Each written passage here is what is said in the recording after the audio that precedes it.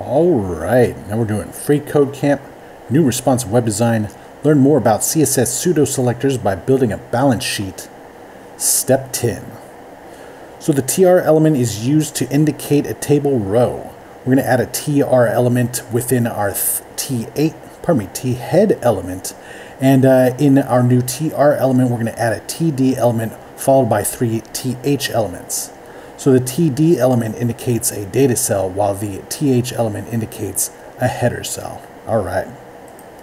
So we're going to add a TR element like this. All right.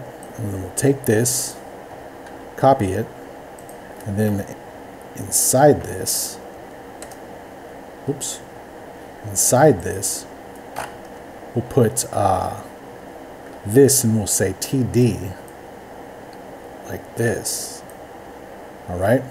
And then we'll add another one and we'll call this TH. And then we'll take this and we'll paste it like that and test it. And there we go. Awesome. And submit it. All right. Now we're on to step 11 and we'll see you next time.